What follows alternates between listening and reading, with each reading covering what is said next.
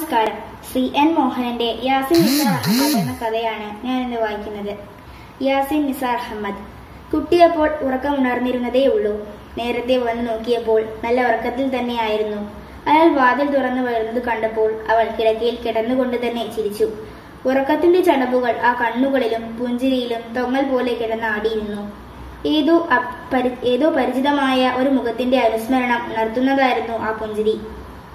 പതുക്കെ എഴുന്നേൽക്കാൻ ശ്രമിച്ചുകൊണ്ട് അവൾ വിളിച്ചു. അങ്കിൾ അയാൾക്ക് എന്താണ് പറയേണ്ടതെന്നോ പ്രവർത്തിക്കേണ്ടതെന്നോ അറിയുമായിരുന്നില്ല.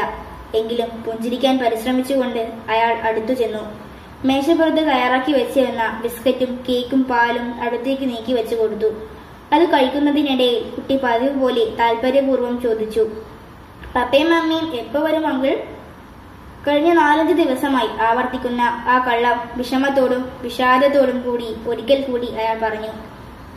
ഉടൻ വരും. അവരുടെ കാറു കേടായി വഴിയിൽ കിടക്കുകയാണ്.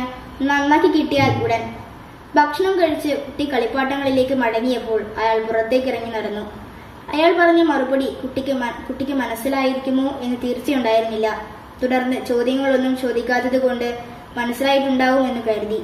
എല്ലാ ദിവസങ്ങളിലും ഈ ഒരേ ഉത്തരം തന്നെ ആയിരുന്നിട്ടും കുട്ടിക്ക് എന്താണ് അവിശ്വാസം തോന്നാത്തതെന്ന യുക്തിചിന്തയ്ക്കൊന്നും ഇടമുണ്ടായിരുന്നില്ല. കുട്ടി അവിശ്വാസതയും അസ്വസ്ഥതയും പ്രകടിപ്പിച്ചിരുന്നുവെങ്കിൽ പോലും ഈ ഒരു മറുപടിയല്ലാതെ മറ്റൊന്നും നൽകുവാനുണ്ടായിരുന്നില്ല.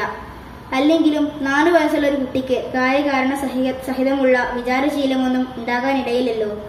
ആദ്യത്തെ ഒരു ദിവസം മാത്രം അവൾ വല്ലാത്ത അസ്വസ്ഥതയും വല്ലായ്മയും പ്രദർശിപ്പിച്ചു. അമ്മയുടെയും അച്ഛന്റെയും അഭാവം ഉണ്ടാക്കിയ ആഘാതം കുട്ടിയെ രോഗിയാക്കിയേക്കുമോ എന്ന് പോലും ഭയന്നു. എന്നാൽ നഗരത്തിലെ നഴ്സറിയിൽ കണ്ടിട്ടില്ലാത്ത അപരിചിതങ്ങളായ കളിപ്പാട്ടങ്ങളുടെയും മുറുകിയതും വലിഞ്ഞതുമായ അന്തരീക്ഷത്തിന്റെ വേഗം മുട്ടലും കൊണ്ടാവും കുട്ടി വളരെ ഒതുങ്ങിയ മട്ടുകാരിയായി.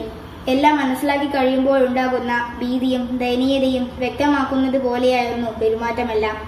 തന്നോട് മാത്രമേ അച്ഛന്റെയും അമ്മയുടെയും കാര്യം തിരക്കിയിരുന്നത് പോലുമുള്ളൂ. അതും ദിവസം താൻ കാണാറുള്ള ആദ്യത്തെ പ്രാവശ്യം മാത്രം.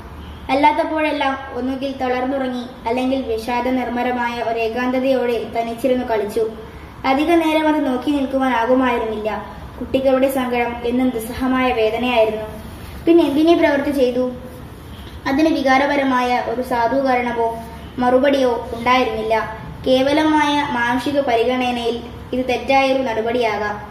വെറും നാലു വയസ്സ് മാത്രം പ്രായമുള്ള ഒരു പാവം പെൺകുട്ടിയെ അപഹരിച്ച് ഒളിപ്പിച്ചു വെച്ച് അവരുടെ ജീവന വില പറഞ്ഞ് രാഷ്ട്രീയമായ നേട്ടമുണ്ടാക്കുക. തൂക്കിലേറ്റം വിധിക്കപ്പെട്ട് ശത്രുപാളയത്തിൽ തടങ്ങളിൽ കഴിയുന്ന സ്വന്തം സഹപ്രവർത്തകന്റെ ജീവിതം രക്ഷിക്കുവാൻ അയാളെ വിട്ടുകിട്ടുവാൻ ഇതല്ലാതെ മറ്റു മാർഗമില്ലാതെ വരുമ്പോൾ ഈ പ്രവർത്തിക്ക് മാനുഷികതയുടെ മറ്റൊരു മുഖം കിട്ടുന്നു എന്ന് സമാധാനിച്ചു. എന്നാലും ഈ ഒളിസംഗീതത്തിൽ കനത്ത രഹസ്യത്തിനുള്ളിൽ പ്രവാഹത്തിന്റെയും പ്രയാണത്തിന്റെയും മരണത്തിന്റെയും നിഴലുകൾ മാറി മാറി പാറാവു നിൽക്കുന്ന തണുത്ത നിസ്സഹായതയിൽ ഉപയോഗശൂന്യമായ വെടിയുണ്ടകളും തോക്കിന്റെയും സ്ഫോടക വസ്തുക്കളുടെയും കേടുപാടുവന്ന കഷ്ണങ്ങളും ആപ്രിക്കട്ടിന്റെയും വാൽനട്ടിന്റെയും ഉണങ്ങിയ പുറംതോടുകളും കളിപ്പാട്ടങ്ങളാക്കി കളിച്ചുകൊണ്ടിരിക്കുന്ന ആ പാവം പെൺകുട്ടിയുടെ നിഷ്കളങ്കമായ മുഖം കാണുകയെ മനസ്സിൽ ഞടുക്കമുണ്ടായി. നേരത്തെ കാലത്ത് വിവാഹിതനായിരുന്നുവെങ്കിൽ ഒരുപക്ഷെ തനിക്കു തന്നെ ഉണ്ടാകുമായിരുന്ന മകളായി. അല്ലെങ്കിൽ തന്റെ പ്രിയപ്പെട്ട ചേച്ചിക്ക് പിറന്ന എന്ന് കേട്ടിട്ടുള്ള ഇതുവരെ കാണുവാൻ കഴിഞ്ഞിട്ടില്ലാത്ത ഒരു മരുമകളായി. വേണ്ട. ആ വഴി മൃദുലതകളുടെയും ദൗർബല്യങ്ങളുടെയും പായൽ മൂടിയ വഴുക്കൻ നിലങ്ങളാണ്. അവിടെ ചവിട്ടാതെ വീഴാതെയാണ് കാലത്തിന്റെ കുന്നുകളും കുഴികളും കടന്ന് ഇവിടെ എത്തിയത്.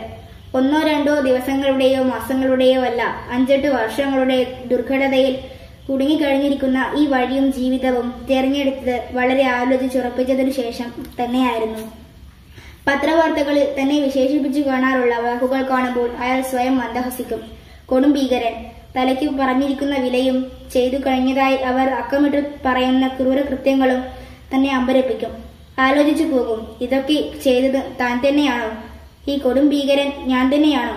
തനിക്ക് ഇത്രമാത്രം വിലയോ? ക്രൂരതയുടെ വില. നന്ദി.